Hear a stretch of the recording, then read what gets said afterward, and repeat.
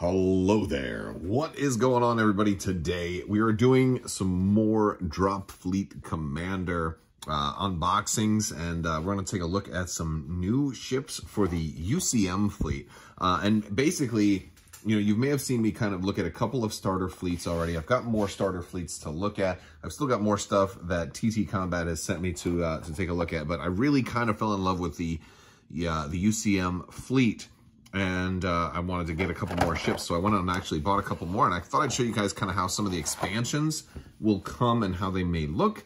And we're going to uh, take a look at some of these. Uh, if you guys are new here to the channel, be sure to enter to win the $25 Amazon gift card giveaway. You just have to be a subscriber and leave a comment on this or one of my videos. It's as simple as that. So today, we are looking at three different expansions. Uh, this one here is going to be the UCM monitors. Uh, this is a, uh, like, I don't know, I guess a, a, type of, like, fast ship. I don't know. I, I, picked, honestly, I just picked three brand, more, brand new ships uh, that I didn't have already. And here I've got the Rome Battle Cruiser. And I believe this is just a single ship, uh, a single larger ship. And then we happen to get, like, the biggest ship that uh, the UCM has. And this is a whole box just for one single ship. This is the UCM Dreadnought.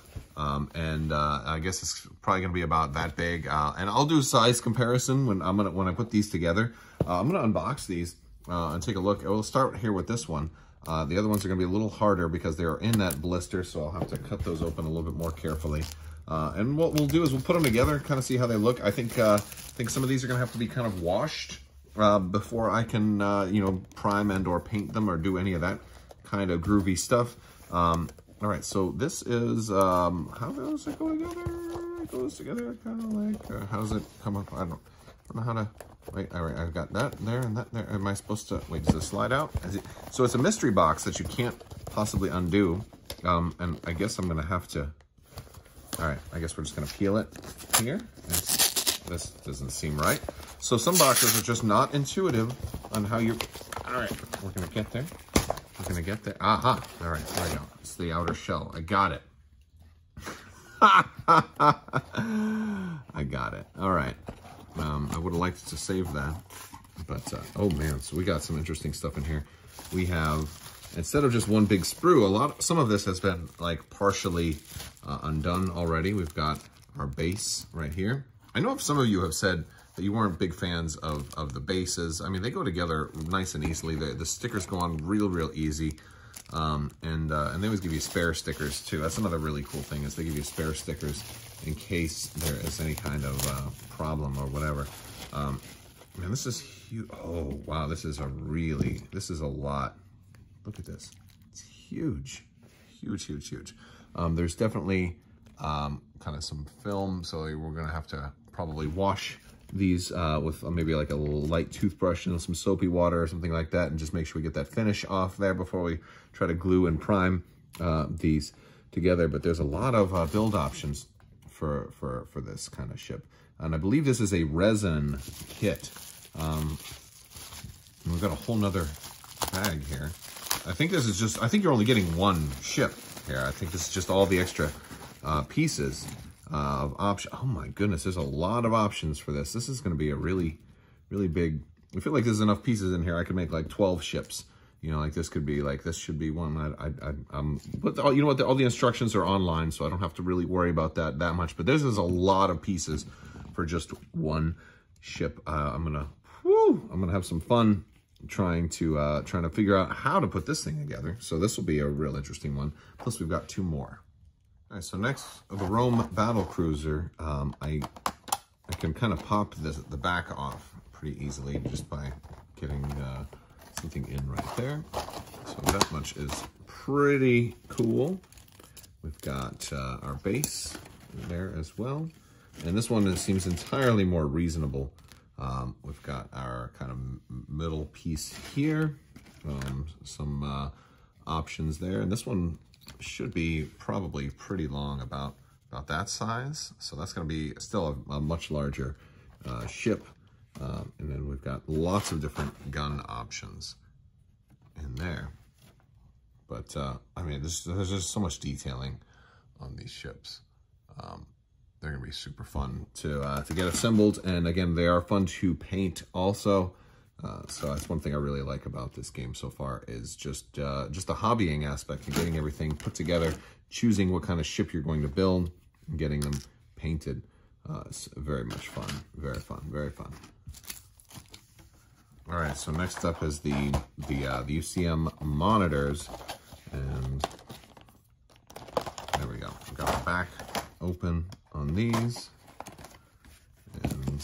I believe there's enough for what two two different ships in here, or no, maybe it's three. Yeah, I think there's enough for three different. There's three three bases. Okay, and uh, well, that much is good. And we've got. Uh, see, make sure we got three actual ship pieces, or is it maybe just two ships and um, options for, no, no, there's three. Okay, there's three here, so that's that's pretty cool. So this is, uh, these kind of gotten, these kind of got bent a little bit. I don't know if this is a part of like the sprue part that connects to it, if I'm supposed to clip this off, or if this is actually a part of the, the ship. So I'll be sure to check in the instructions. Um, but we've got a lot of, uh, uh, pieces. Actually, these look like they're the maybe the simplest to uh, to get together. Um, so so very cool because very few extra pieces for these. So they're going to be a little bit more simple. So that looks pretty cool. So let's start putting these together. All right, so I'm starting off with the uh, UCM monitors. I soaked them in some soapy water, kind of brushed them off a little bit, dried them off, and I'm going to clip off some of the excess here. Um, there's at least as the time of me recording this, is not a really great um, utility. I got a little towel here to dry them off um, on exactly how to build them out, but it seems kind of self-explanatory. Either this piece goes in or this piece goes on. And so you can build the Istanbul or the Vienna. And uh, I think I'm going to build uh, like basically two of these and then one of these. Because this gun's got like a better gun, but this one shoots straight with the burn through. Um, and so, uh, you know, I only need one of these, but I want to have at least one of each type, right? So, but uh, I think I'll go with two of these uh, uh version. And so this piece right here is going to come off. Um, this is going to come off. We'll, we'll, trim out that a little bit. And I believe these two little pieces uh, are going to go in there because those little wheel wells in there are what are going to kind of hold this gun in because it's going to kind of rest in there on the wheels. So uh, that's what we're going to try and do. I've got my little cutters here and uh, try to clean out some of this. And uh, yeah, kind of like that and just kind of get it cleaned up. And I use a little X-Acto to shave off the extra bits and, uh, you know, it should be good to go. All right, so I've got the uh, monitors put together. Uh, I've clipped them all off pretty well. Um, a lot of the, the engines had extra pieces that needed to come off. The backs had that extra piece. I tried to sand that down a little bit. And that's a pretty nice looking ship. Um, and of course I built two of these. Um, these guns could kind of angle up or down or straight. So I did one kind of angled down just a little bit. And then the other one um, angled straight. And uh, this is, there's a lot of detail on those guns too. So really nice looking ship. We've got our underneath view right there. Um, and we'll be getting some paint on those at some point. uh, I'm also working on uh, the the Rome right now. Uh, I've been kind of uh, preparing this guy, and uh, so he's got his pieces here, and I mean he seems pretty self-explanatory. The big difference is if you're gonna do like the Venice, which is right here, which would have those two pieces in, or the Rome, which I guess goes like this. And um, what I'm thinking of doing is like that's right here. There's a little gap just right there. So I think I'm going to use some uh, Tamiya putty. Um, it's kind of like a green stuff, except it's white. And then I'll use that to kind of fill in some of that gap just a little bit um, to see how well that works. Although this top, I might use a little in the top portion too, but I really don't need it very much because this fits really, really well. Um, I might put just a little bit in there, but uh, we'll see because this is uh, this is pretty good quality stuff right here.